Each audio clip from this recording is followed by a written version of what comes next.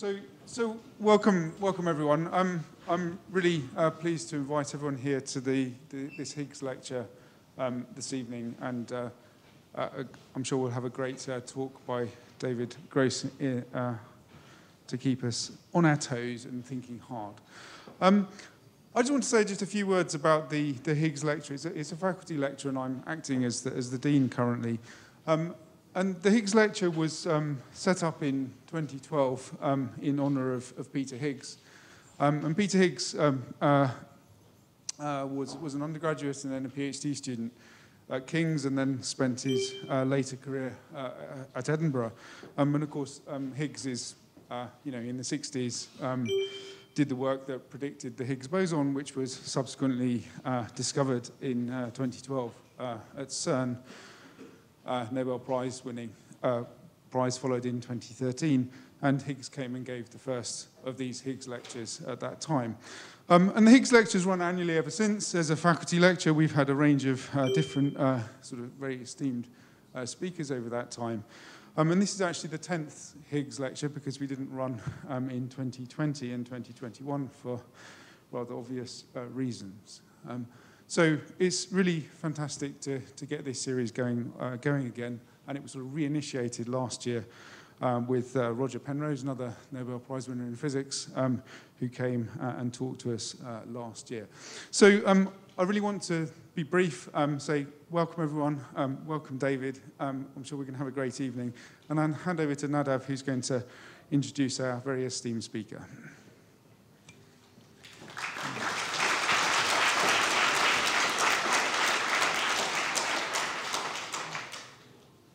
Yes, welcome. Uh, my name is Nadav Drukker. I'm the head of the theoretical physics group in the mathematics department, and I co organized this event with Malcolm Fairbairn, my colleague from the physics department.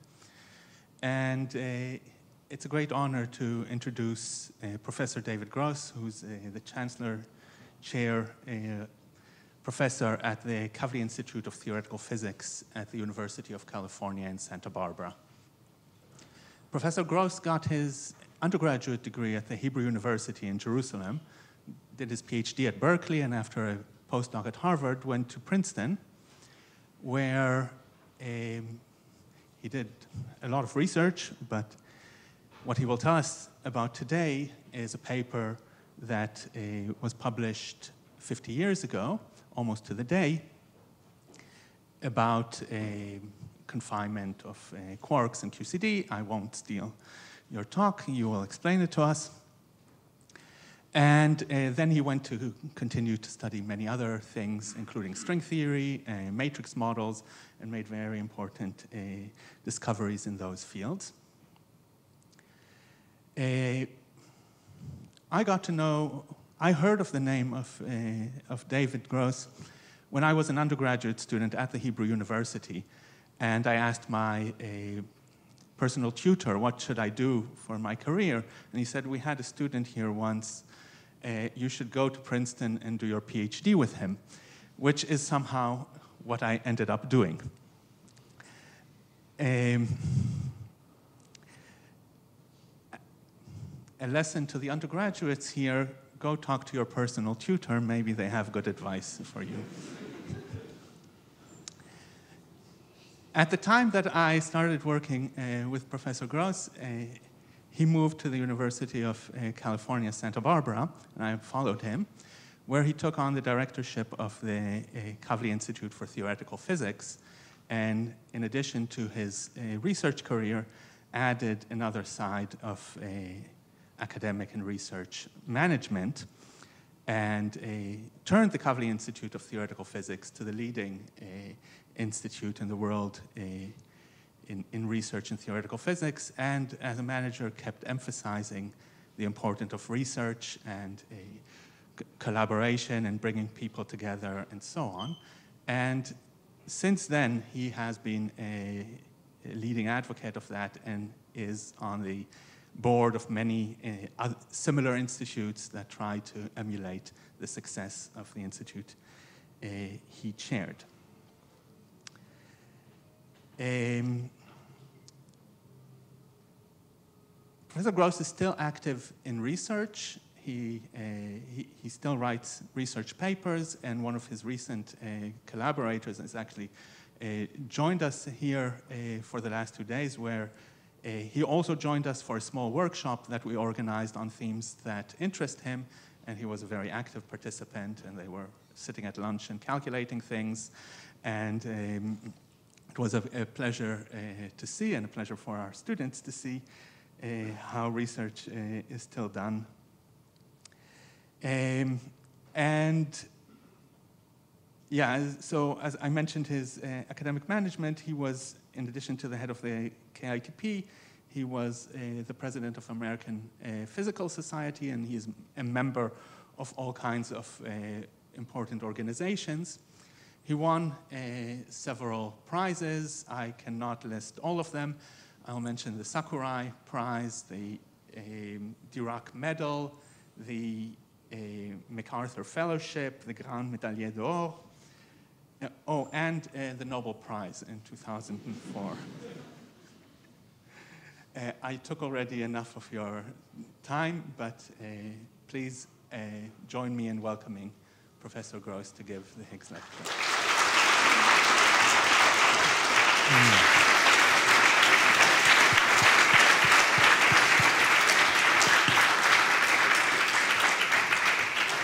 Thank you, Nadav.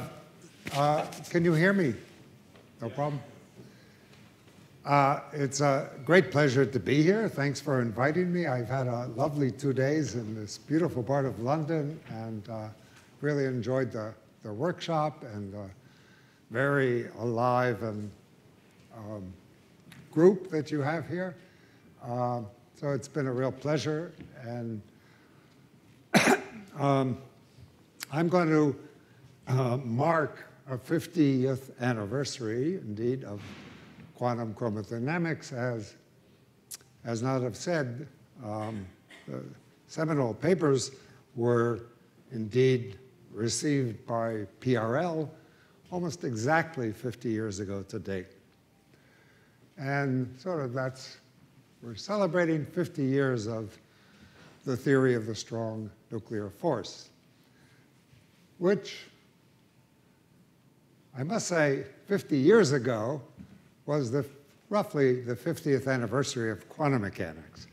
And to me at the time, 50 years sounded like an infinite amount of time. My God, I couldn't imagine what it was like 50 years before, and now we're 50 years later, 100 years of quantum mechanics. Um, now, I imagine that most of the audience was not alive 50 years ago, right? Uh, those of you who were al not alive 50 years ago, could you raise your hand? Yes, I'm right, almost all the audience. So 50 years must seem like infinity. And like most physicists, young physicists, you know almost nothing about the history of physics, uh, unfortunately. Uh, it's really interesting, and you'll learn a lot about truly studying the history of physics, which isn't the story you read in the textbooks. It's full of mistakes and errors, and, and it's fascinating. So I urge you to, and I'll, I'll try to fill in a few holes. Actually, I'm going to start going back even earlier, uh, 60 years ago, when both the study of the nucleus of atoms as well as experimental high energy physics really began with Rutherford, uh, who in 1911 essentially discovered the nucleus and invented high energy experimental physics. Not sure which is more important. What he did, of course, was to probe the structure of atoms by colliding alpha particles, which he had, you know, famously uh, studied in radioactive decay. They provided uh, a beam, if you want, of particles, which he threw at a gold foil to see what would happen and thereby see what the atom was made out of. At that point, really, nobody had a good idea. Um, and his students, undergraduate, postdoc, sat in a dark room and observed the deflected uh, alpha particles on a fluorescent screen. And Rutherford was rather surprised that a lot of the particles, the alpha particles, came back at large angle scattering. Um, that was unexpected.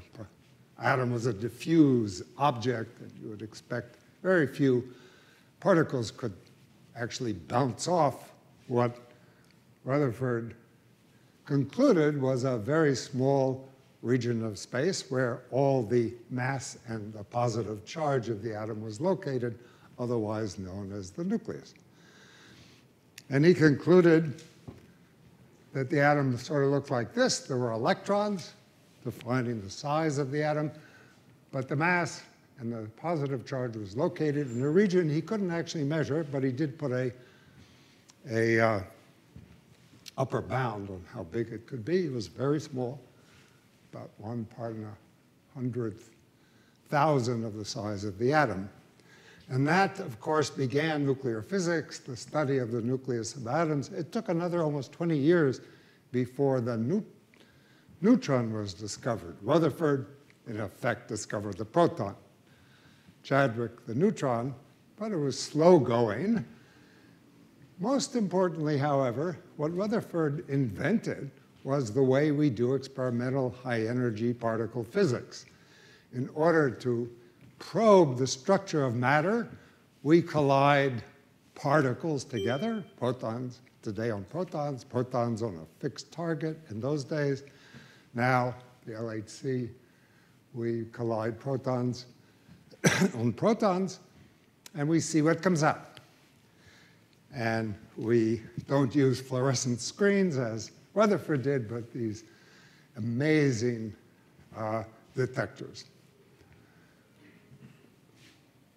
Now, that has been the way we do particle physics for the last 110 years. And in a sense, we have not done better than Rutherford. We haven't figured out by and large, any other way of probing matter at shorter and shorter distances. We have lots of indirect ways, but the primary tool that has led to our deep and thorough understanding of uh, atoms originally, and then nuclei and subnuclei, uh, has been using Rutherford's technique. Perhaps we need a new way of probing shorter distances. We seem to be approaching the limit of what we can build and afford. So when I started graduate school uh, in the 60s uh, at Berkeley, that was the LHC of the time. It was the largest high energy uh, facility in the world, 6 GeV, one, part, one thousandth of what we do now. But uh, very exciting. Particles are being, new particles are being discovered every few weeks. And the theory was almost non-existent. The strong force was especially intractable. At that time, it was already realized there were two kinds of forces acting within the nucleus. The strong force, because it was very strong, that held the nucleons together, and the weak force, the weak interactions that gave rise to radioactivity. The strong force was especially intractable for a variety of reasons. Uh, first of all, which particles were elementary? What are the basic, I mean, the search since Democritus was for the basic constituents of matter. And originally, it was thought when the proton, neutron were discovered that they were the elementary constituents of the nucleus. And Yukawa invented a massive particle that could transmit a short-range nuclear force, which coupled strongly to the neutrons and the protons. The pi meson was discovered, and so that was a beginning of nuclear theory, if you want. On the other hand, there was no principle known that could dictate the dynamics how these particles interacted. and furthermore, the coupling of these particles, the strength of the force, uh, was not small like it is in electrodynamics, quantum electrodynamics, a very successful quantum field theory of electromagnetism, but rather big. And so perturbation theory was not useful. So nobody knew what the constituents really were. New particles were being discovered all the time. They seemed identical, you know, similar to protons and neutrons, and there were more and more of them, dozens and dozens. So which were the elementary particles from which the other particles were uh, constructed? What was the principle that determined the dynamics? And how to calculate. Dyson, so far our heroes are all English, uh, who made such fundamental contributions to the quantum theory of electromagnetism, tried very hard to construct a quantum field theory of the nuclear force and failed miserably and gave up and said the correct theory will not be found in 100 years in 1960, uh, which is 63 years ago. And indeed, it only took a, a decade or so. But the impression that when I was in graduate school was that some kind of revolution was needed, some kind of truly new idea beyond simply quantizing a classical, perhaps field theory of, of uh, nuclear particles. And in retrospect, we understand why this problem was so difficult.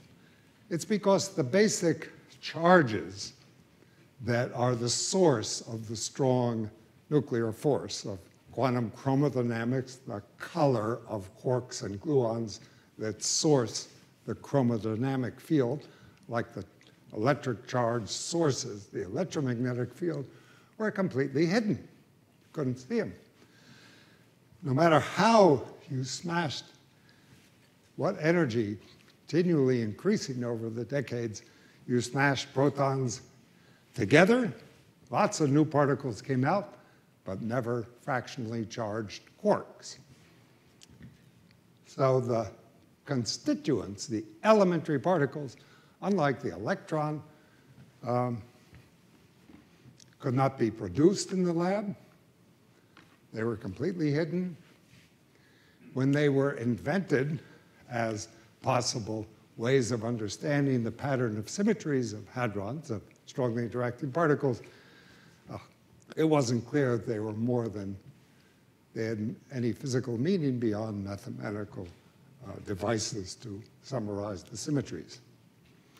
And the theoretical framework was ill understood. The theoretical framework, soon after the development of quantum mechanics, for relativistic quantum mechanics, was quantum field theory. And the great success of quantum field theory originally was the quantized theory of Maxwell's uh, theory of electromagnetism. But an essential part of that development in the 50s was renormalization theory, and it was truly not understood.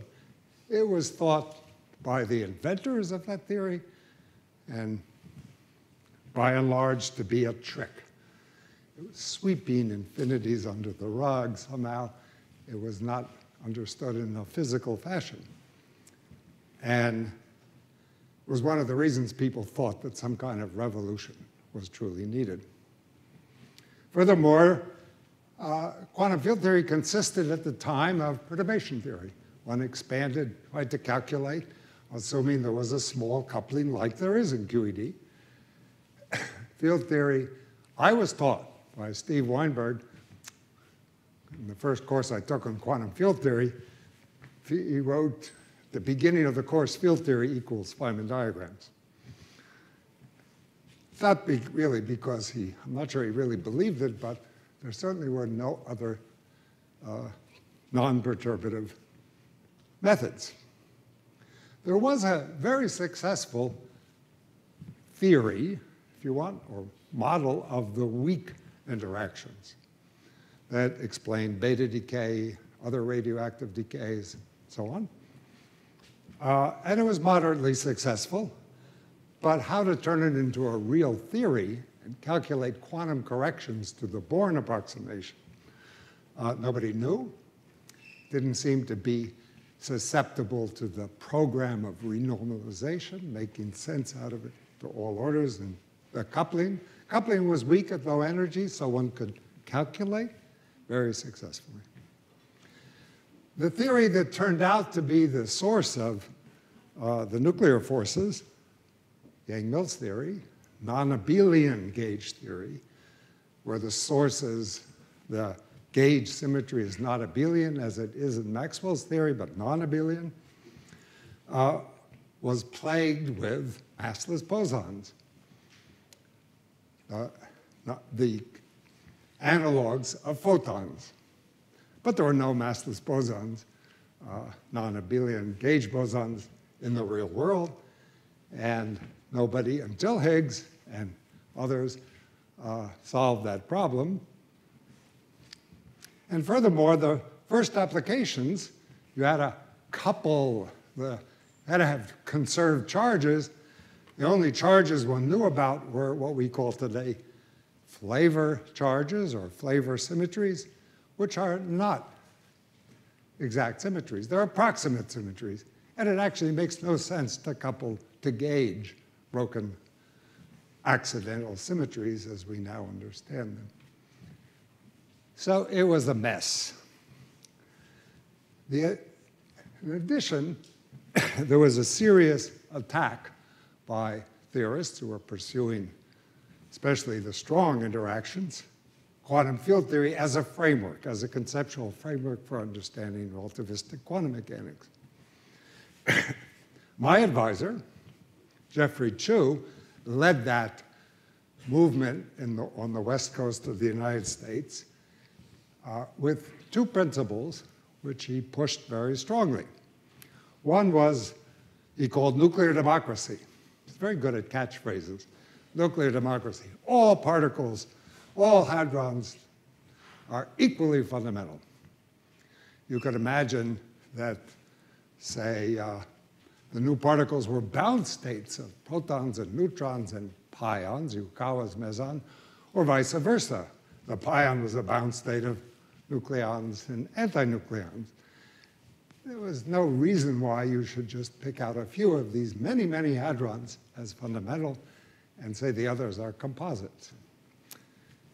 But then how are you going to write down a theory if you don't have fundamental constituents? Well, the answer was the bootstrap. It was so hard to construct a sensible quantum field theory and find exact solutions that you began to distrust whether there are any consistent S matrices, scattering amplitudes, which is what you observe involving um, nucleons.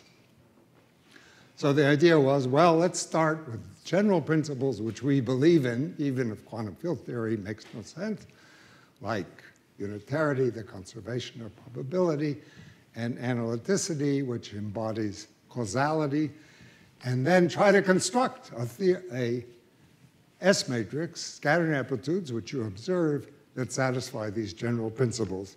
And since it's so difficult, an answer must be unique. That was the idea. This bootstrap approach, by the way, of course, has um, been revived with some very interesting developments in modern times. I think actually, historically, it was very lucky that we didn't have powerful computers back then, because then people could have pushed the bootstrap program a lot further than they were able to. And that wasn't the way to go, as it turned out. In Russia, in the Soviet Union, there was a, another attack on quantum field theory, and it was led by Landau, who controlled physics in the Soviet Union like no one possibly can imagine in the West.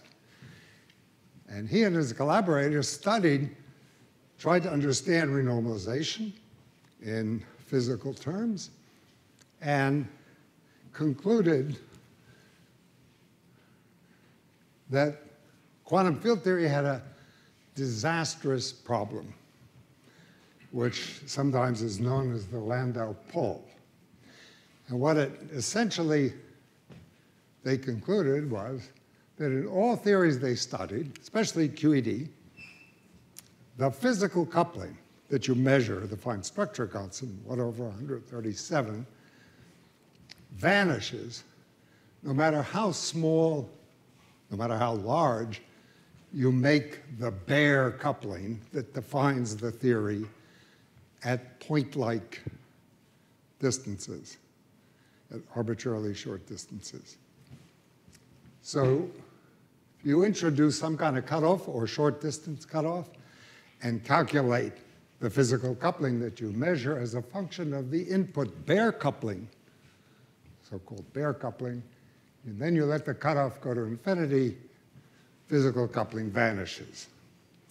Now, this conclusion was based on a very simple assumption that lowest order perturbation theory iterated made sense uh, was the answer, but it essentially is correct. And the physical phenomena here, uh, this behavior of the coupling as a function of scale, uh, is due to a phenomena that we all know very well classically and quantum mechanically called screening. So in a relativistic quantum field theory, the vacuum is not empty. It's filled with virtual pairs of particles that can be produced and annihilate uh, in a short time. And so you should always think of the vacuum as a medium with dipoles. Uh, and a, such a dielectric medium screens a charge that you put into the vacuum. The vacuum is a medium with virtual dipoles. And those dipoles screen the charge. So you put the charge in, and it gets screened. Now, consequent, immediate consequence of that is that the electric force that this charge gives rise to decreases at large distances because there's more screening, more of the medium to screen, and conversely, increases at short distances because there's less screening. That's the opposite of what we call asymptotic freedom, and such a phenomena is true for all non-asymptotically free theories like QED. And Landau concluded boldly, he, Landau was always bold, he said, we reached the conclusion that within the limits of formal electrodynamics, a point interaction, so really saying that there's a point interaction where an electron emits a photon, for any intensity whatever, no matter how you adjust the coupling at arbitrarily short distances, is equivalent to no interaction at all. The physical coupling vanishes. And so he's driven to the conclusion that the Hamiltonian method, or quantum field theory, uh, for strong interactions is dead and must be buried, although, of course, with deserved honor. Now, he said the strong interaction because this problem already occurs in QED, and QED by itself is probably an inconsistent theory. We all, many of us believe that, hasn't been proven, surely true. But that problem arises at this Landau pole arises at incredibly high energies, and any rational per person could ignore that problem. You might have to include gravity, who knows? But for the strong interactions, it occurs at very low energies if you assume the same kind of behavior. So Landau forbade young students, postdocs, and even senior colleagues to work on quantum field theory. So much so that colleagues, my young colleagues like Polyakov, Migdal, et cetera, people like that, had to pretend they were doing condensed matter physics in order to do quantum field theory. However, experiment was thriving. there were an incredible number of experiments, unlike today, sort of the opposite situation. Theory was impotent, experiment was king. There were new discoveries every few weeks, new particles, new patterns of particles. and people were scattering, hitting protons off protons or antiprotons at higher and higher energies. Again, however, the experimenters were slightly misled in the following way. When you scatter high energy particles, most of the events go in the forward direction. Particles sort of scatter, they don't deviate that much. There are showers of particles in the forward direction. That's where most of the cross section is.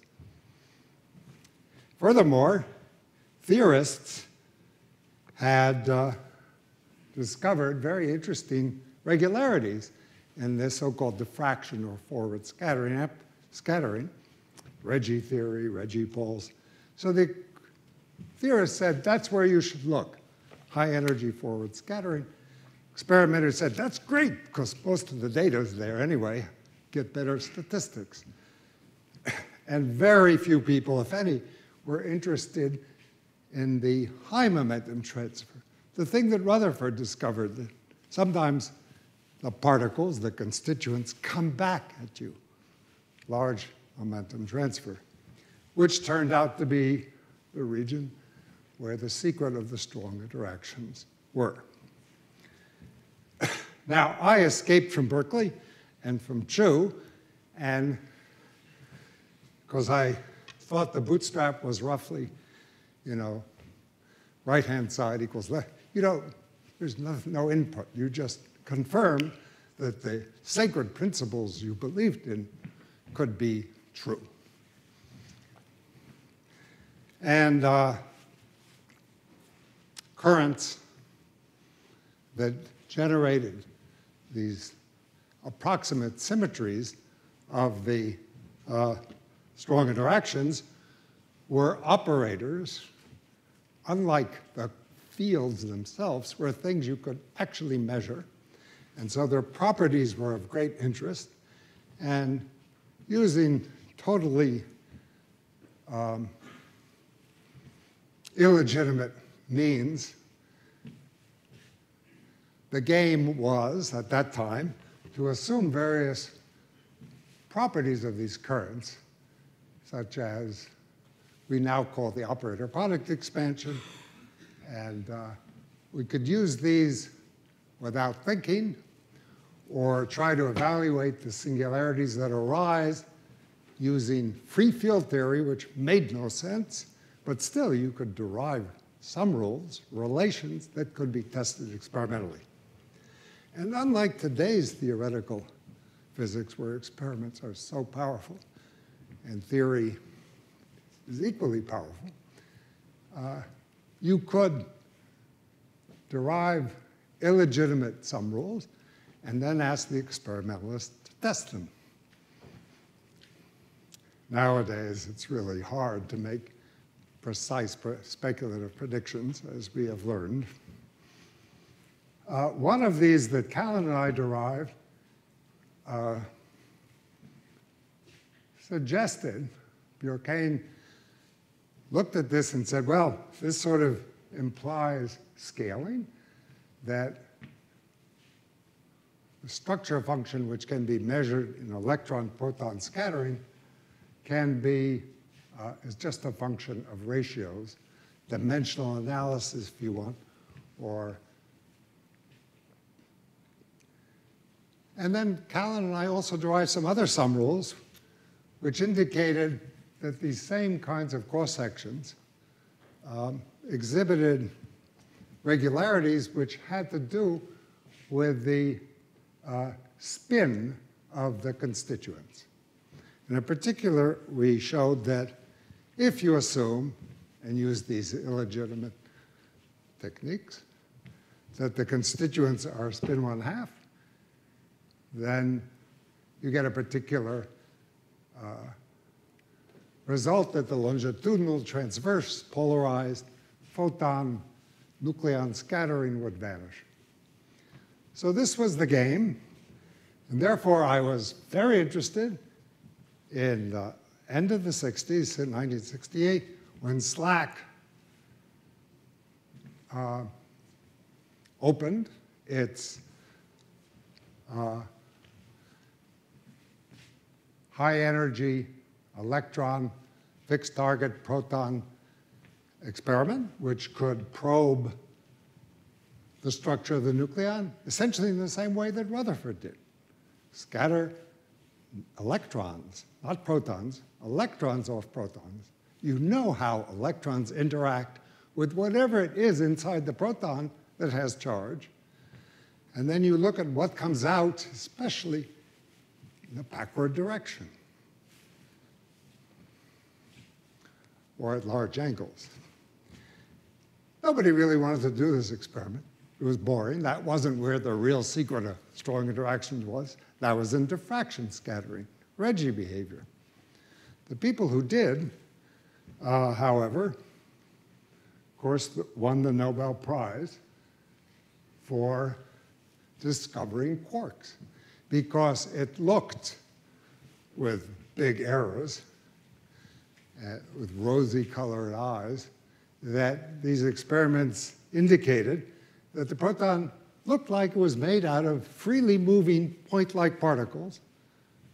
And not only that, the quark model sum rules, for example, the spin one half sum rule worked approximately. And Friedman, Kendall, and Taylor, who did this experiment, uh, were awarded the Nobel Prize for discovering seeing quarks, the same way Rutherford saw the nucleus of atoms. But this was very confusing. the experiments and the fact that some of the sum rules that I wrote down worked convinced me that hadrons were made out of point-like constituents, freely moving objects. Not only that, the charged constituents, the things the photons interacted with, were quarks. They had the right spin. With neutrino scattering, one could verify their baryon number, one third, et cetera, et cetera. They were all, they looked like quarks. So quarks, which had been invented to describe the pattern of flavor symmetries, were not just mathematical devices, but real. But how could that possibly be? Because quarks didn't, you could never kick the quarks out of the nucleus. So what held them in? It Had to be some very strong force. You could not ionize a proton. But if it was a strong force, then they wouldn't look like point-like constituents. They'd have some structure, just like the nucleon does. So quarks must interact strongly. And then you could not explain scaling, you couldn't explain the sum rules, you couldn't explain anything. So, but the scaling seemed to be with roughly 10, 15, 20% errors at the time. You could ignore, therefore, the experiments, many did. But if you believe them, then somehow you got this point-like behavior. There was no scale uh, in quantum field theory, which violates quantum effects, destroyed naive scale invariance. We already saw that with screening.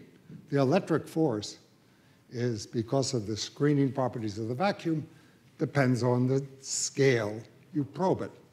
Gets stronger at short distances, weaker at large distances, more screening.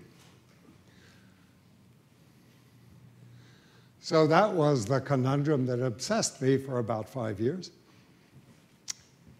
And except for a detour into string theory, which started roughly at the same time, um, I was obsessed with this problem. And by the way, and many of my theorists who were, like Ken Wilson, for example, who really revolutionized our way of thinking about quantum field theory and both the operator product expansion, renormalization group theory, uh, were due to him, uh, believed the experiments were probably misleading. And if you went to higher energy, things would become more complicated as he expected. Strings could not explain this. Strings were soft. They weren't point-like at all. They're extended objects from the beginning. They could not explain scaling. So by 1972, I developed a plan, a program. The plan was to destroy quantum field theory for good. And the first part of that plan was to prove that if you really took the experiments seriously, point-like constituents or scaling, then you required what we call asymptotic freedom. This phenomena that as you go to shorter and shorter distances, the strength of the coupling changes, and to get the point-like free behavior at short distances, you would need that the coupling approach zero. And generalizing uh, discussion on observation by Parisi, Callan and I showed that that was the case for all renormalizable sensible theories, except non-abelian gauge theories, which we didn't study, where this, we couldn't prove this theorem, which isn't even true, for, although you do get asymptotic freedom for non-abelian gauge theories. Anyway, that was the first part. You needed asymptotic freedom to explain the experiments if you took them seriously. And second was the idea was to show that there aren't any asymptotically free theories. And this, in a sense, is straightforward because if a theory is asymptotically free, then at very short distances, high energies, the coupling gets weaker and weaker. So you can do perturbation theory, and that's straightforward, and you can see if you get a contradiction. And that was expected, just like Landau expected, based on QED, the charge renormalization, there's variation with distance, is screening. So the coupling should vanish. Uh, sorry, the coupling, it's wrong, should not, right, should blow up as you go to short distances. Replace this zero by infinity. Oops. Oops. Plan. So, anyway, we could easily study whether a theory is asymptotically free or not by perturbation theory. And with Callan, the same year, 1973, Callan, uh, Coleman and I proved that there no sensible theory sensible theory, for example, is one that has a vacuum that doesn't just fall apart. With any number of scalar particles, or spin one-half particles, or abelian gauge particles, uh, with arbitrary interactions, is asymptotically free. So that was called the price of asymptotic freedom. And so the plan was almost accomplished. There was only one theory which we didn't study either here or there because it was new and fresh, and that was not abelian gauge theories, which had been, 't Hooft and Veltman had shown were renormalizable. You could make sense out of perturbation theory. You could calculate, but it was very unfamiliar. And at that point, I had my first graduate student at Princeton, Frank Wilczek. And here's Frank when he still had hair. Just a secret, this is a wig. After our discovery, when he felt confident, one day he suddenly appears without the wig. Looks like he does today. And we discovered that, my God, you know, I brought him in, like all my graduate students, I like to work with them, they're colleagues. That's the way to really teach students is to. Anyway, uh, we discovered, this 50 years ago, three weeks ago, that Non-abelian gauge theories are totally different, just the opposite. That they are, have the remarkable feature, perhaps unique, is actually unique, four dimensions, of asymptotically approaching free field theory, and that should provide, therefore, one should look for a non-abelian, say it again, a non-abelian gauge theory of the strong interactions to explain Bjorken scaling. So the upshot was I didn't succeed, thank God, in killing quantum field theory. I did succeed in killing all other quantum field theories aside from non-abelian gauge theory, which kind of miraculous. And not only that, it's clear in that already that the dynamics, well, the, if you took the experiments seriously, the dynamics had to be non-abelian gauge theories. Gluons were the, the quanta of the non-abelian gauge field were the stuff that glued the quarks together. The matter was made out of quarks.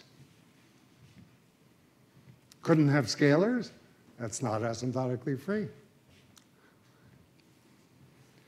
And so the dynamics was fixed by what we already knew. We knew quite a bit phenomenologically about the strong interactions. And one particular appealing model, just an understatement in a way, based on three triplets of fermions, three because there have been three flavors, we now call them up and down and strange quarks. There are three other flavors, but they hadn't yet discovered. With an SU3, color had already been discovered by Han Nambu uh, in order to explain, if you assume that hadrons are made out of quarks, you want to explain the statistics, spin statistics, you needed three, a degeneracy of three. And so there are obvious charges for a uh, non-abelian gauge theory, and that is otherwise known as QCD. Now, why is QCD different? It doesn't exhibit screening, it exhibits anti-screening. And there's a very simple physical understanding of that, from, not from an electric point of view, but from a magnetic point of view. You know, you can think of any gauge theory, both in terms of electric charges or their dual magnetic charges. From a magnetic point of view, uh, the vacuum is filled with these dipoles, all right, which screen, but it's also filled with these spin one gluons, which are produced in pairs, just like uh, gluons carry color, so they can, they're strongly, in, well, they're interacting and they can be produced in the vacuum. And they're permanent dipoles, permanent magnets. So instead of getting diamagnetism, which you would get in QED from a magnetic point of view, you get paramagnetism. If you put in a magnet, a little permanent magnet, and then measure the magnetic field, it will depend on distance. But now, because the little permanent magnets align, the opposite happens. As long as there isn't too much screening. So if you don't have too many elect quarks or charged particles, the QCD force decreases at short distances because there's less anti-screening and increases at large distances, just the opposite. that physical picture of course, uh, was only understood after the fact. And Landau could have figured this out. Uh, why not? In our longer version of the paper, we started deriving, since you can use perturbation theory. At large energy, short distances, you can do a lot of calculations. Immediately, we started doing those. But most pressing was the question, what happens at large distances where the coupling increases? And we hypothesized that the consequence of this is that quarks can never get out of the nucleus. Now, at first sight, this would appear to be ridiculous. Anyway, but uh, we said it might very well be that this infrared behavior is such to suppress as states that you can produce in collisions, all but color singlet states, neutral states. And the colored gauge fields, as well as the quarks, although we could see them at SLAC at short distances, they could never be produced as real particles. Now, that conjecture uh, is still not proved by any means, but we have absolute confidence that it's correct. First of all, experiment has never produced quarks, even when you smash protons together at trillion electron volts. And second, we have numerical control over what happens at large distances using lattice gauge theory. And the picture is quite simple. So let's calculate the force between two charged objects. Well, in a theory like electromagnetism, you do that by using Gauss's law. That's all you need to know. The electric field integrated over the area of a sphere, say, surrounding the positive charge, gives you the charge. It's Gauss's theorem. And therefore, the charge, the electric field falls off, as Coulomb said, like 1 over distance squared.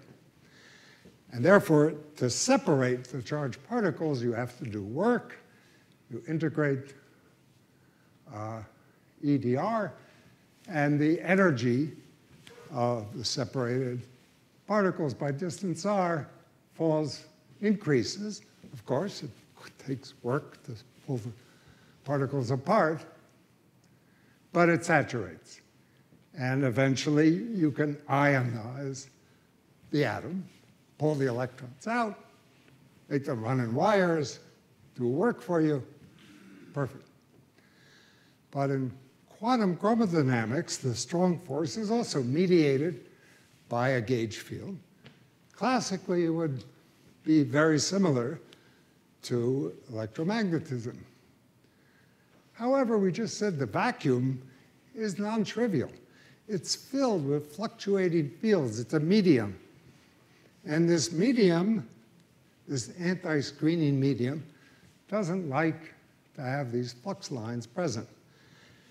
And what happens is that these flux lines are squeezed into a tube, flux tube it's called, and there's some area of that flux tube. Can't be squeezed to zero, that would make no sense. But let's say it's squeezed to a constant uh, thickness. Now, if you apply Gauss's law, what happens is that E times the area of the flux tube equals the charge. There's no flux out here.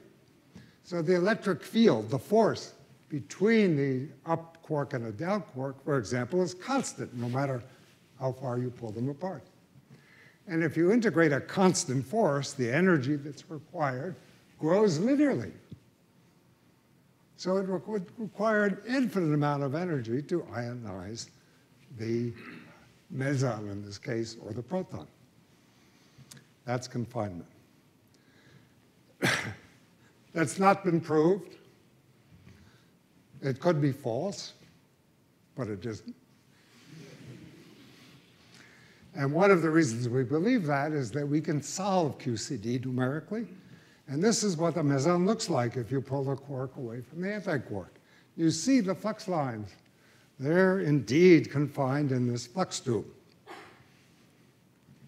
Actually, uh, you also see a fat string here, which connects to the next part of my talk. Well, I'm going to go through this history very rapidly. It's a long, 50 years, a lot has happened. QCD was a, remarkably accepted immediately by all the people I therefore thereafter regarded as smart. I'm not sure, John, should you be on this list? I think so, right? What? Halfway. Halfway. John is half smart. It was immediate for a small group of people.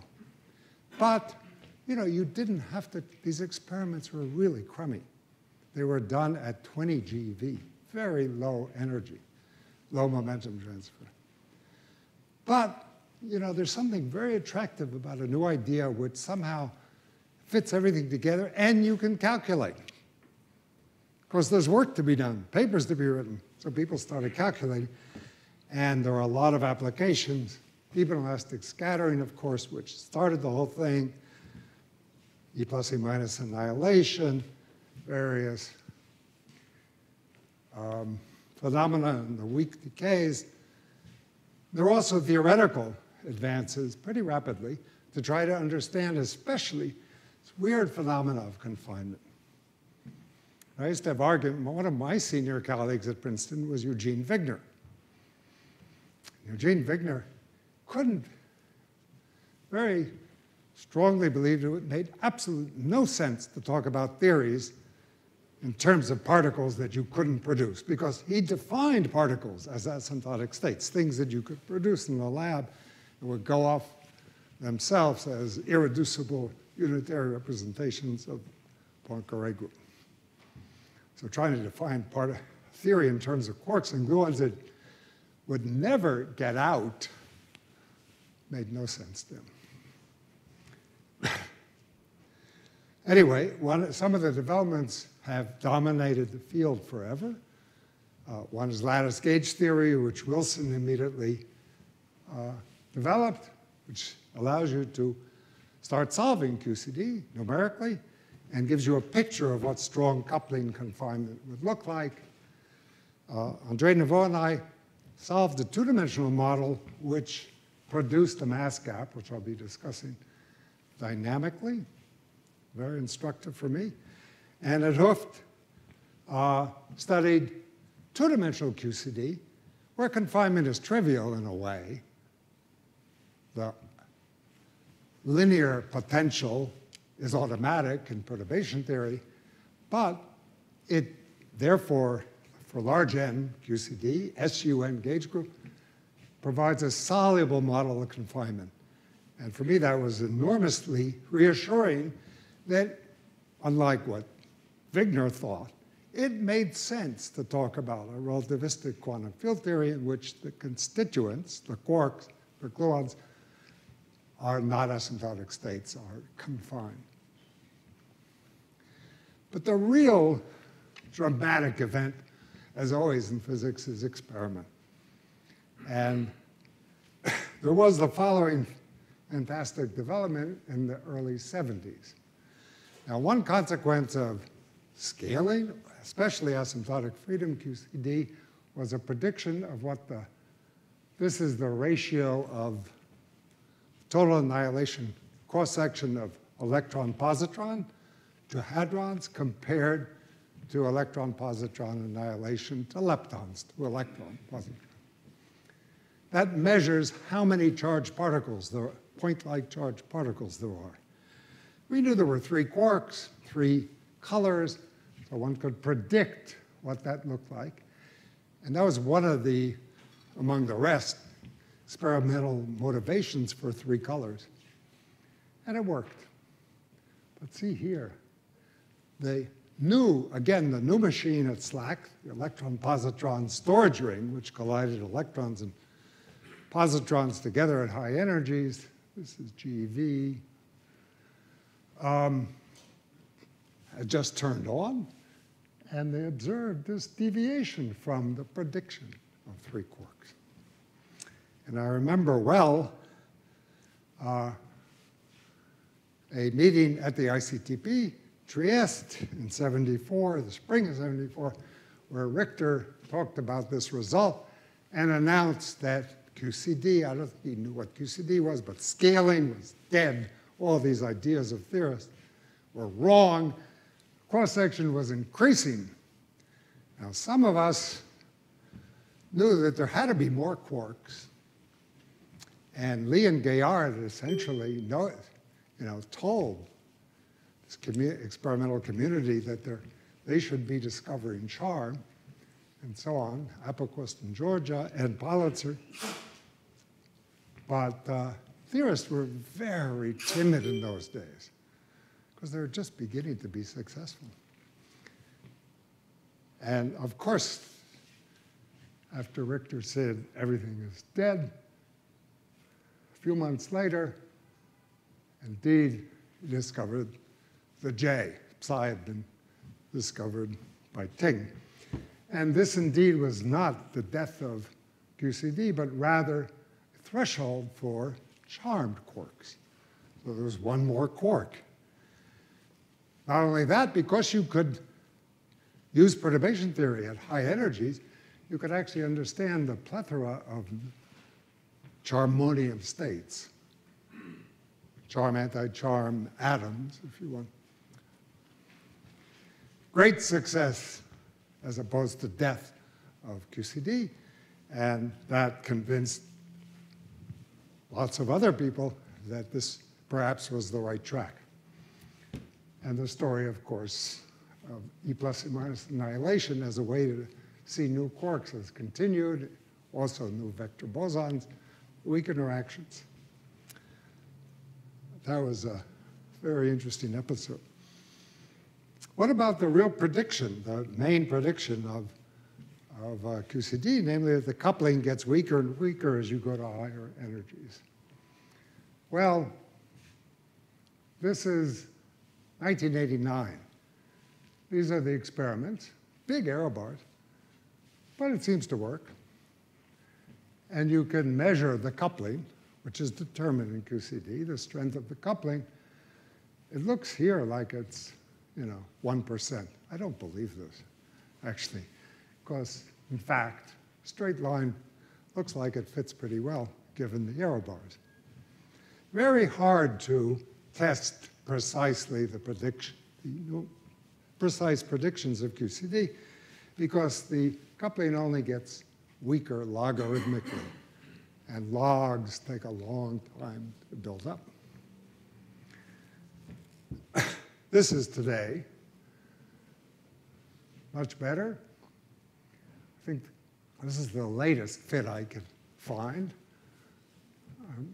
Sure John could tell me there's a better fit, but this is truly better than 1%, maybe a half a percent determination.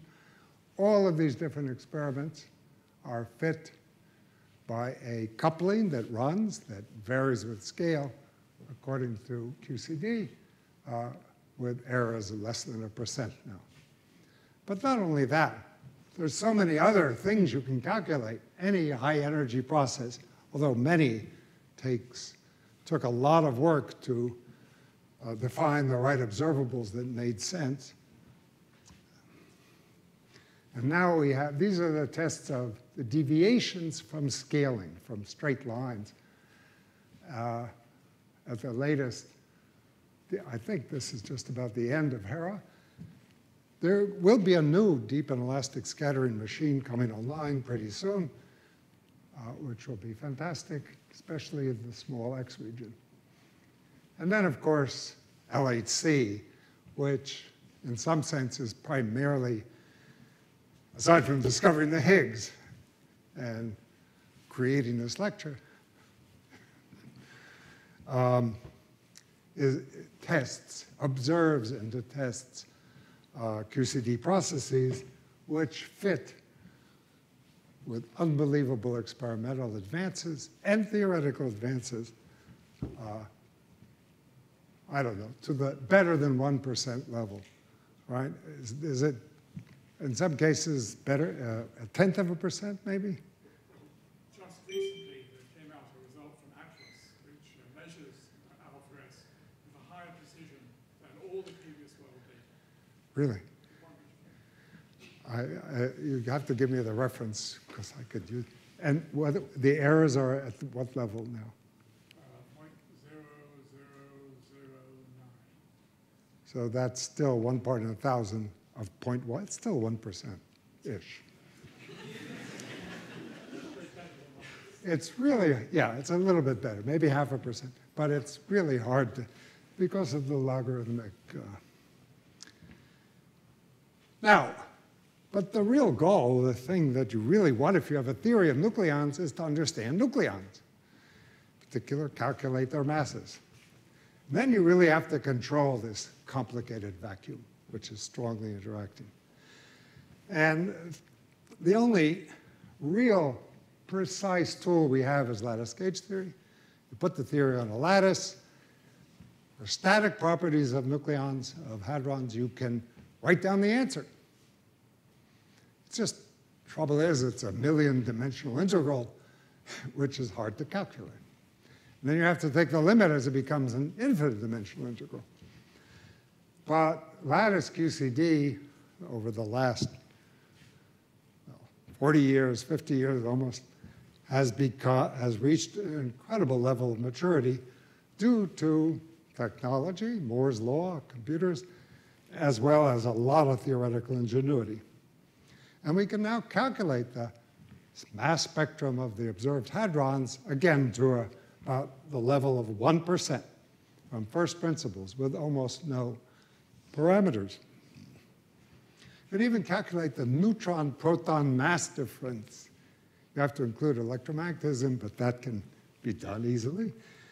Uh, and it's a remarkable, remarkable. Also, to do this, do those comparisons with LHC data, you need a lot more than just what we calculated, the first term in the beta function, which told you the leading behavior of how the coupling decreases at high energy. And those have been calculated way beyond third order. I've stopped here. The formulas get quite complicated. NF is the number of quarks, number of flavors. So we, at the time, uh, knew of up and down and strange quarks. Um, as long as they're fewer than 16 or 17 are quarks, you still get asymptotic freedom. Not if there are too many, because then the screening wins out over the anti-screening. And in addition, the development of per calculating perturbation theory to very high orders in non-abelian gauge theory, which is a, a priori seems impossibly difficult, has now become quite easy. And one can calculate not just the leading order terms, which you know, we could initially calculate quite easy, one loop diagrams, next to leading order, next to next to leading order, next to next to next to leading order. And a lot of this accuracy is needed to uh, confront LHC. Now, I want to end by discussing the remarkable properties of QCD, which I denote here as a perfect theory in the following sense. First of all, there are no infinities. These infinite quantities that bugged people from the beginning of quantum mechanics and quantum field theory aren't there at all. Second, there are no adjustable parameters, more or less. Everything can be calculated. And finally, there's no physics at arbitrarily high energies and short distances. I'm just discussing QCD by itself. So what does it mean to say that there are no infinities? If you actually do perturbation theory in QCD, you'll, you'll, there'll be infinities along the way, but they're totally unphysical. And that's clear if you look at, um, well, so the bare coupling, the thing that in QED led Landau to conclude quantum field theory was nonsense, their verge was infinite. But not in QCD, it's zero. The only time you encounter infinities is if you try to express observables at finite distances in terms of those you measure at arbitrarily small distances. You might therefore divide by zero. You get an infinity, but it's not physical. In lattice gauge theory, you define the theory on a lattice with a cutoff, the size of the lattice A. Your coupling depends on A. characterizes the strength of the coupling at distance A. You write down finite in a finite volume, a finite dimensional integral. You calculate it by Monte Carlo. You take the, let A go to zero, and when you do that, the coupling vanishes like logarithmically. and if you take this, you know, this behavior, plug it into here, take the limits, you got to find that answer. For the mass of all the hadrons you might study. You never get infinities. No need for renormalization, if you want. This is the renormalized coupling. So there are no UV divergences, nothing to worry about. More importantly, the second feature is the theory can calculate everything. So I, recently I read uh, Feynman's beautiful summary on the present status of quantum electrodynamics, the Solvay conference in 1961, right after the great success of normalization theory and QED. Feynman summarized all that, and then he asked, QED has two parameters, the mass of the electron, the fine structure constant. I want to calculate them. Can I calculate them? Is there any way, he says? Well, the simplest way to calculate them would be to put the mass of the electron to zero and then somehow get it by some principle. So he considered pure QED with zero mass electrons and photons interacting with no other particles. He knew there were other forces, of course, in nature, having no cutoff energy, arbitrarily high energies, he says cannot produce a finite electron mass. Now, of course, there's a symmetry when the electrons are massless, chiral symmetry, which would keep the electron massless. Feynman already in 1961 knew that problem could be solved by spontaneous symmetry breaking. He references Nambu. But here he was trying to get a mass of the electron, which he realized was also protected by scale invariance. So if you have pure QED with no mass, there's no scale. The theory is scale invariant. And if the theory is invariant to a change of scale, there's no parameter to determine the length. So an electron with mass involves such a length. I'm not certain, he says, Feynman was always careful. It appears to me impossible to generate a specific length from no scale whatsoever. QCD, however, does that. Quantum effects break scale invariance. We saw screening or anti-screening have scale dependence. Force changes with scale, with distance. Quantum effects break scale invariance, can produce a mass scale, a dynamical mass, and determine the coupling as well. So QCD, in a sense, is a perfect theory and has, let's take QCD, massless quarks. By the way, that doesn't change the world very much, the level of 1 to 10%. Quarks are very light. Make them massless. Theory has no length scale, it would appear, and a coupling, the strength of the coupling. It also has quark masses in the real world. The number of colors is three, but let's take those as given. And then there's the phenomena we call dimensional transmutation. So I have one slide which explains this analytically. I'm going to go through it very fast since I'm running out of time. You actually, to define the theory, you need to introduce some scale, like in the lattice, the lattice spacing where you define what you mean by the coupling. So the coupling, say, is the strength of the force between two particles at some distance, say 1 over mu. the renormalization group, the theory, the dynamics determines how that coupling depends on the scale you've introduced. You make that scale bigger, the coupling is going to be smaller. That depends on the sign of this beta function.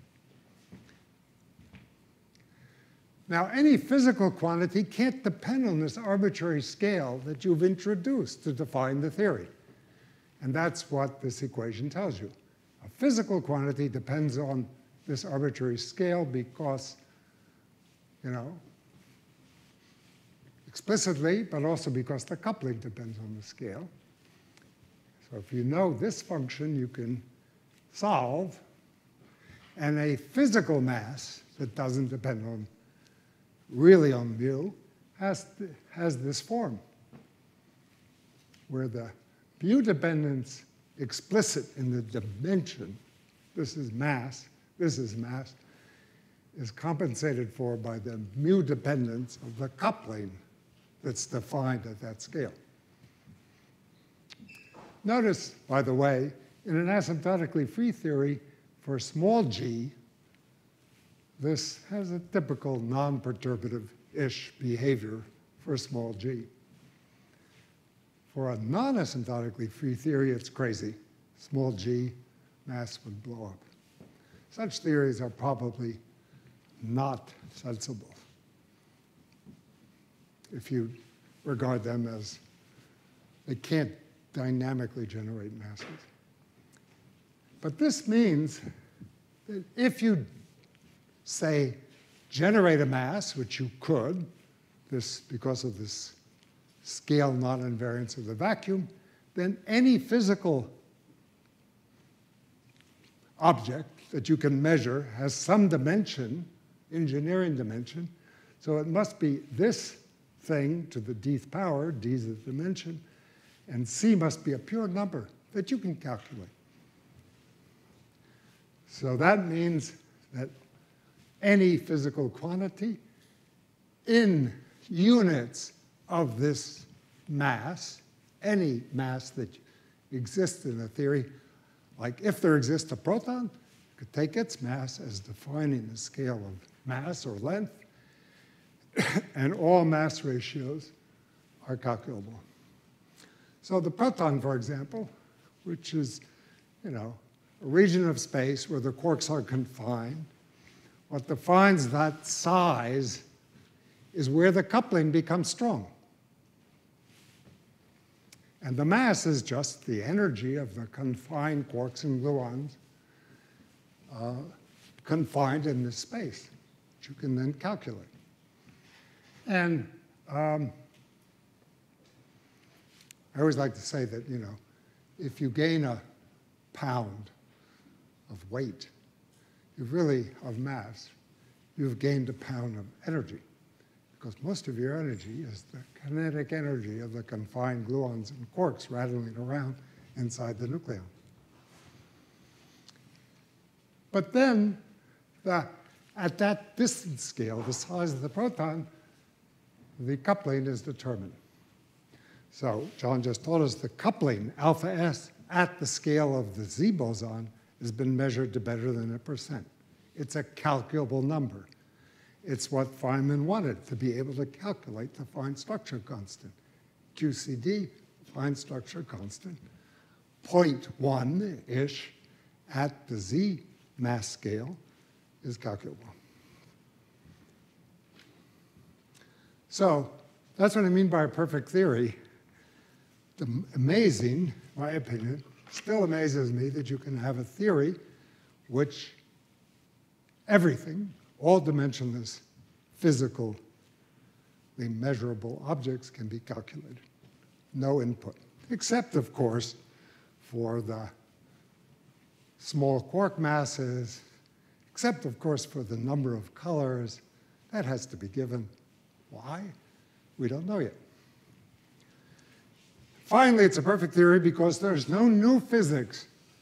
You know, look at the theory, it doesn't break down, no matter how high the energy is, how short the distances are.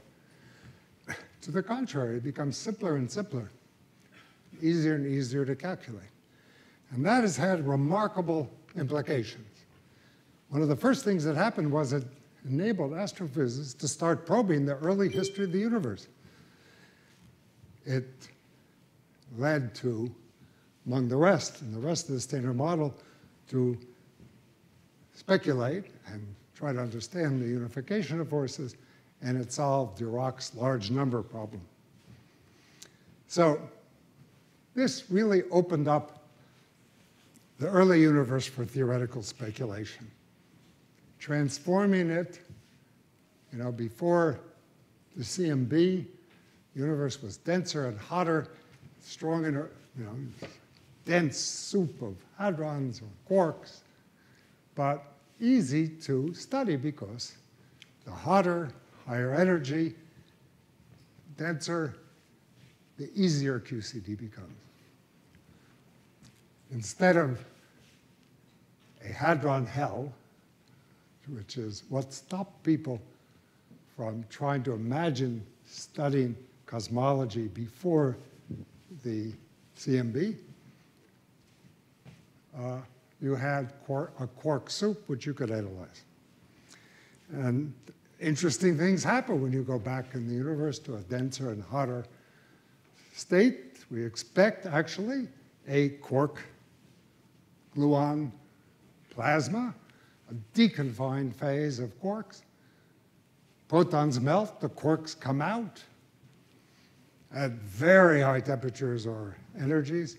Uh, they're a weakly interacting plasma, and as we have discovered experimentally at RHIC and now at LHC, there is a fascinating phase transitions and behavior of this uh, quark gluon plasma or quark gluon liquid, and much is yet to be discovered,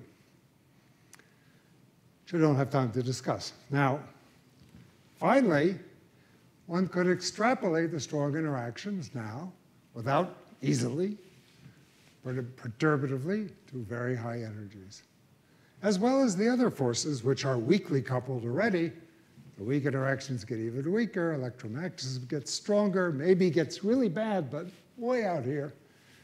And they seem to come together. A few years after the standard model was completed, this extrapolation took place, as you know, and led to the theoretical discovery that this unification of forces,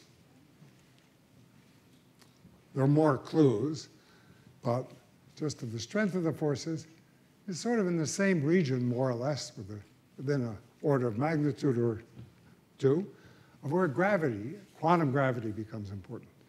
Of course, that has dominated our speculation for the last 45 years, led to string theory, and so on.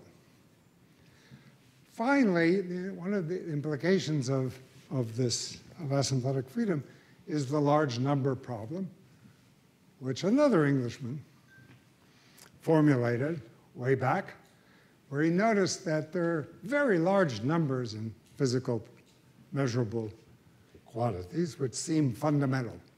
For example, the ratio of the proton mass to the Planck mass is 10 to the minus 19. That's a very small number. Planck mass is the energy scale, the mass scale where gravity becomes as important as the other forces. It's a very weak force at low energies. It grows quadratically with energy. How could you possibly calculate this number? Dirac noticed other large numbers, he didn't know how to calculate them. He didn't assume one could calculate them. He just related them. By the way, he could have invoked anthropic arguments, but Dirac was Dirac. He didn't do that. But what he did do was relating various numbers of this order of magnitude, for example, the ratio of the size of the observed universe to the size of the atom, also this order. That varies with time, so he concluded that fundamental parameters, perhaps Newton's constant, fine structure constant, vary with time. That could be experimentally checked. We have very old nuclear reactors that have been around for billions of years underground. It's not true, as far as one knows. But QCD can calculate this in a way. Because the coupling goes down, and now at very high energies, we have every expectation, speculation that the forces unify at around the Planck scale. So this is the Planck scale. And now you ask, okay, if we start with a coupling which is, you know, of the order of the fine structure constant, something like that, here at the Planck scale, what determines the mass scale of the proton? Well, the force gets bigger and bigger. Finally, you can't pull the quarks apart. That defines the size of the proton and thereby the mass of the confined quarks. That gives you the proton mass. And of course, the ratio is just this e to the minus 1 over g squared I showed you before for small coupling. And that is easily, in fact, using what we know about the world, roughly the order of 10 to the minus 19, where 19 might be plus or minus 2. But that really is why the proton is so light compared to the Planck mass, while why stars are so big, contain so many protons before they become black holes, why we aren't black holes. So QCD is the first example of a complete theory if you ignore everything else. No adjustable parameters, no indication of a distance scale where it must break down. Quite remarkable, infinite bandwidth, but of course the real world has parameters, the number of colors, the quark masses and mixing, gravity, the weak interactions, electromagnetism, so on. But in of itself, we have this perfect theory. Now, the other important, most important perhaps, aspect of QCD is string theory. These flux tubes look like fat strings. In fact, that's how string theory developed in order to explain hadronic scattering amplitudes, which had various features which in sense could be explained by strings. So these flux tubes in string theory are strings with quarks or labels attached to the ends. But one of the most remarkable developments in string theory, which was originally a theory of the strong interactions, was the discovery that an open string could be closed, and closed strings were gravitons. So this development happened, happened over the years and continues to be the most promising development of trying to unify particles and gravity. Um, and there are ways to try to use this insight, which I don't really have time to describe, so I won't. Mm. So there are limits of QCD if you change the number of colors, where the string theory picture should become better and better. There is within string theory a remarkable duality between closed and open strings or quantum field theory and string theory.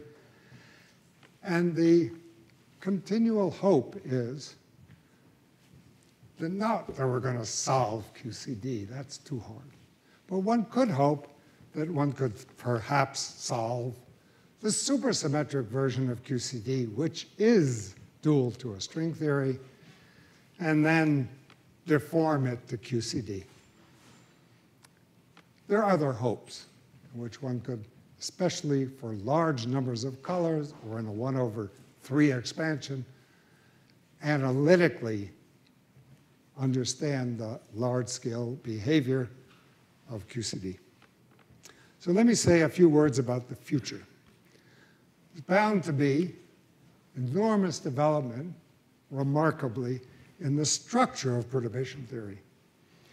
This was really unanticipated, certainly by me, that these amplitudes would show such remarkable mathematical properties, hinting perhaps at something deep, still not understood, but very useful. Numerical methods like lattice gauge theory, but now more and more approaches like Hamiltonian truncation or quantum computers that might enable numerical control of real-time non-static properties of hadrons. Fragmentation, diffraction, et cetera, et cetera. And finally, perhaps most importantly, there are new experiments and new facilities coming online. LHCb has discovered lots of new hadronic, uh, multi, very interesting quark states. Not just quark antiquark or three quarks like the pion and the proton, but tetraquarks and pentaquarks. Very interesting and not very well understood.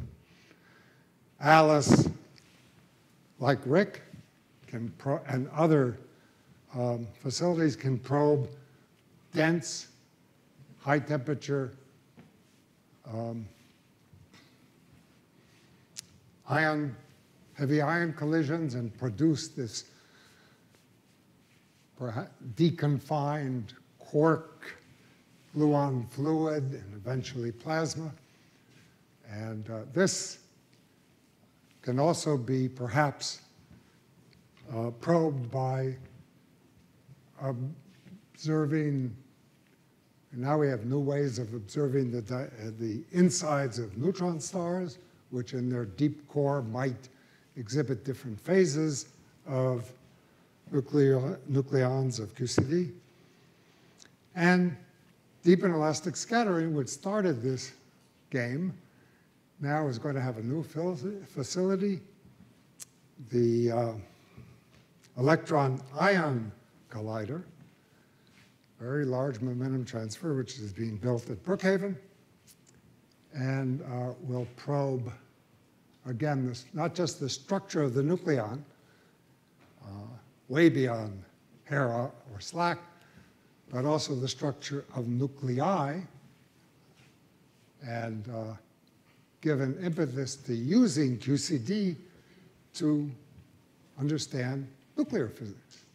Well, nuclear physics is just quarks and gluons. So let me end with uh, the following. Feynman was one that once wrote a summary of physics at his time uh, in one sentence. He said, if some, in some cataclysm all scientific knowledge were to be destroyed, and only one sentence passed on to the next generation of creatures, may be made out of silicon, what statement would contain the most information in the fewest words? This is a very interesting challenge. I challenge you to do better than Feynman. It's hard. And what Feynman said, I believe it's the atomic hypothesis this or fact.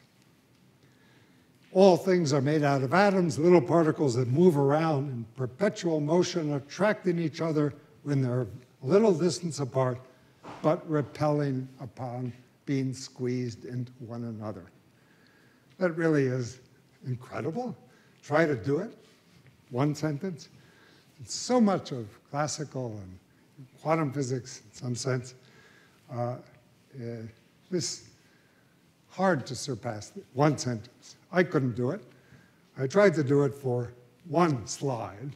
What have we learned from the standard model to pass on to the AI computers that will replace us? Well, matter is, I'll try, I could actually, with commas like, and a lot of wind, I could do it in one sentence. Matter is made out of charged spin one half fermions with forces described by quantum gauge field theory, which can exist in three phases, electromagnetism in a Coulomb long range phase, the weak forces by an SU2 gauge theory, which is screened, or Higgs, by an, a natural scalar. That's a footnote. And the strong interactions by an SU3 gauge theory in a confining phase. So that's the standard model in one slide. What have we learned in 50 years from QCD? Well, most importantly, we've learned that QCD is the theory of the strong interactions. It works. Then we've learned, I think the most important thing is that dynamics, quantum dynamics, can produce everything mass scale, length scale, and couplings, leaving nothing that you cannot calculate, except the number of colors, the number of spatial, you know. We have to get to that.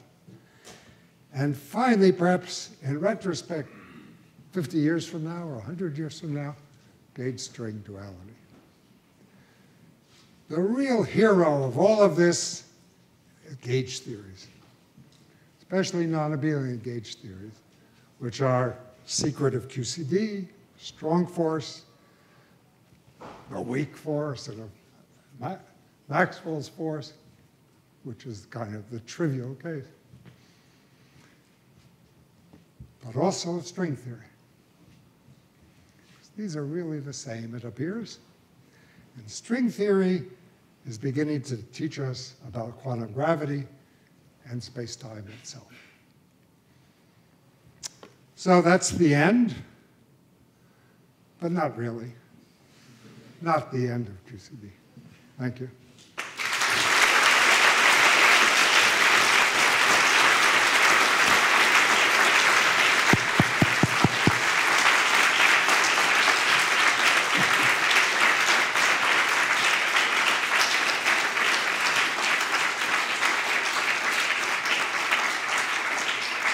So thank you very much, Professor Gross, for this uh, tour de force, this, uh, this journey through uh, the discovery of QCD.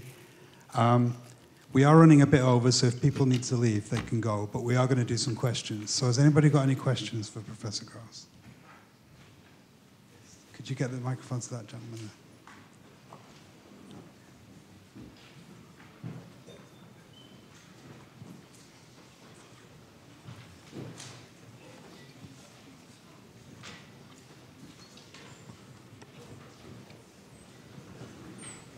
Thank, thank you very much for a very interesting talk. I, I really enjoyed that. Um, I have one question though. Uh, near the end of your talk, you were talking about string theory, and um, you were talking about string theory, and I'm a little bit confused about the state of string theory given current experimental um, uh, experiments. Um, my understanding was that the Large Hadron Collider was built uh, to look for supersymmetry, the underlying things for string theory. No, it was built um, for the Higgs. For the Higgs, but the, I mean, but we wanted to find new things. We and, knew there was the Higgs. We wanted new things. Yes. But we couldn't find anything new. So so far. Okay, um, but does this mean that there's any hope in string theory if supersymmetry no, doesn't theory, apply in the uh, right in the any of the yeah. energy ranges we're interested in? Supersymmetry plays a very important role in string theory um, but doesn't particularly pick out a scale. The, the motivation for hoping, speculating, maybe even and expecting uh, that supersymmetry would show up at the LHC were various uh, clues from nature. Dark matter, low mass Higgs, et cetera, et cetera. The naturalness of the Higgs unification gets better and better if you um, assume low energy. Low en by low energy, I mean TeV scale supersymmetry. So there were various clues from experiment, phenomenology, like the existence of dark matter, uh, that suggested that supersymmetry could help understand those experimental facts, and that was motivation. But string theory does not require uh, super, low energy supersymmetry. The, scale, the natural scale for string theory as a fundamental theory of gravity, okay? Not the string theory I'm talking about, by the way. You know, uh, those flux tubes, see, forget about fundamental string theory. Those flux tubes are you imagine a world, you, again, you have to slightly change the real world. In the real world, strings break. You nucleate quark antiquark pairs that flux tube breaks. You can't really pull them apart arbitrarily. But if you didn't have that problem, if you had no quarks and you just pulled external quarks apart, you'd get an infinitely long string. And all of our understanding of, of physics would tell us that there's a way of describing that in terms of some kind of dynamics of a, an extended object. So that's what we're looking for in the case of QCD. It's not this theory, it's not directly the theory which exhibits gravity. There clearly are no gravitons uh, in this quark, anti-quark, or closed loops of flux in QCD. Okay? But the two, but you know, these are related kinds of theories. There's a lot of evidence from not from the lattice, where you are allowed to remove the quarks and you just have these flux tubes. You can do those calculations on the lattice and actually compare them with what, by general principles, we understand an effective string theory would look like. Not the same, and no supersymmetry occurs. And so it's just a different way of understanding QCD. Now, there is this so-called ADS-C, if ADS CFT duality, which tells us that if we supersymmetrize QCD, especially for a large number of colors, it really is a fundamental string theory. But that's not QCD. It's scale invariant, for example. It does not produce a dynamical mass scale. And in the bulk, the theory, this supersymmetric version of QCD, is dual to there is gravity, there are black holes. Black holes are related, by the way, to these, what happens when you collide heavy ions together. You produce this, this uh, hot fireball. That's very similar to a black hole. In fact, in ADS-CFT, they're identical. And so you learn a lot about black holes. You learn a lot about gravity. To go from there to QCD, you need to deform the theory, decouple various sectors, get rid of supersymmetry, et cetera, et cetera. But that's a theoretical hope. As far as supersymmetry goes, LHC, we still hope, you know. LHC is now running with much higher luminosity. There'll be a lot more events, subtle effects, subtle phenomena might reveal supersymmetry. Right, John? Might. Might. So people, you know, we're much less dogmatic now. We've learned our lesson. Theorists are. But, uh, but it could happen. Nothing. Quite, quite possible. But it really has nothing to do with what I was talking about. It doesn't have to do with the QCD string or the real hopes of string theory, which is not, well, supersymmetry, if, if string theory eventually, string theory, by the way, is a very bad word. If, uh, if this approach, string framework is what I call it, uh, turns out to be the secret to a lot of these big questions, then supersymmetry at some scale is probably inevitable, but not no energy necessarily. Any more questions? Hello. Oh, sorry. Thank you. Uh, firstly, thank you very much for the lecture. Uh, secondly, uh, I'm a first year undergraduate student. Frankly, I'm confused most of the time. And I would I would quite like to know what do you, what's the first thing that you do when you don't know something? Uh, well, first thing you do is ask your tutor or advisor whether she knows the answer. What do you do? What do I do? Um, well, I try to understand. I mean, there are different ways of trying to approach questions you don't know the answer to. They're usually from the side. Um, it's very difficult because normally you use the same old methods, which don't work, and uh, which everyone else uses. And, and so you have to find some new angle. Uh, I grew up in a period where experiment really provided clues that were either unavoidable or you could, could point to some direction if you were lucky or smart enough to figure out where they were pointing. It's not always easy. We don't live in that, well, there are experimental that are clearly uh, pointing in some direction, but we don't. So you, those you need to take very seriously. Questions that theorists pose, um, and you don't know the answer, it's probably a good idea to try a different, try to invent a different approach.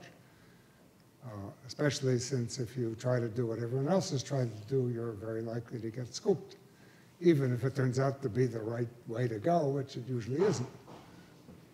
So I don't have any advice beyond that. Thank you. So no ChatGPT. Uh, you could try that, it won't lead you very far. I mean, Thank you. it won't even give you interesting uh, new ways to think about it. I, I would keep a very open mind, be open to anything that sounds interesting. Uh, That's all I, Thank you. kind of trite, but Do we have any more questions? everyone's tired.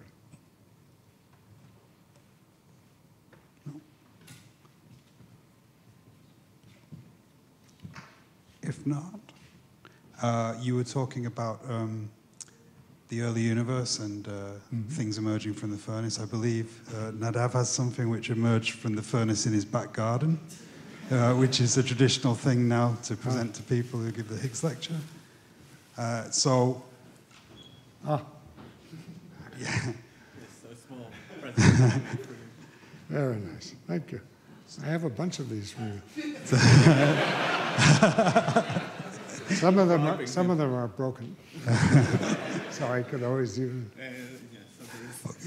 So, can we all please uh, give a big round of applause for what was a very nice talk?